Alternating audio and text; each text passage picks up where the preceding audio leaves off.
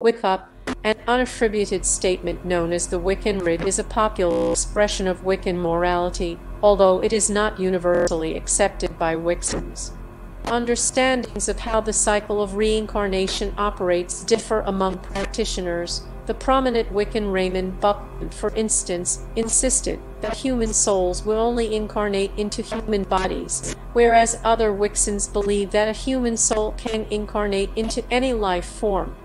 Some Wiccans believe that magic is simply making full use of the five senses to achieve surprising results, whilst other Wiccans do not claim to know how magic works, merely believing that it does because they have observed it to be so.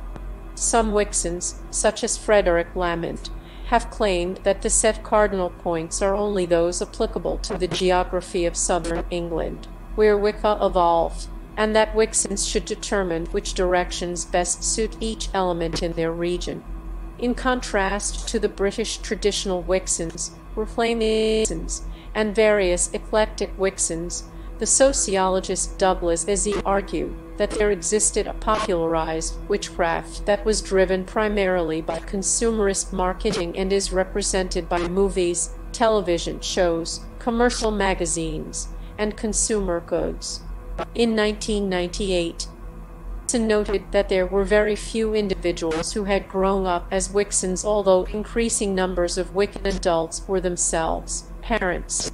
Many Wiccan parents did not refer to their children as also being Wiccan, believing it important that the latter are allowed to make their own choices about their religious identity when they are old enough.